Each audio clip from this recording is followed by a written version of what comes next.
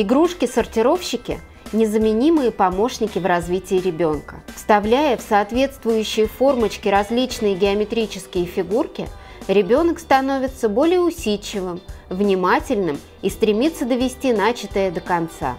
А еще он учится мыслить логически.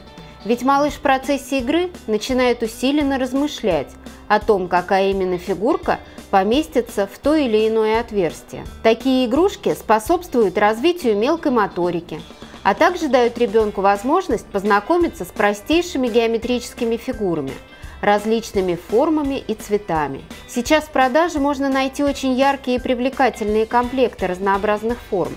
Такие игрушки способны увлечь даже самого капризного малыша.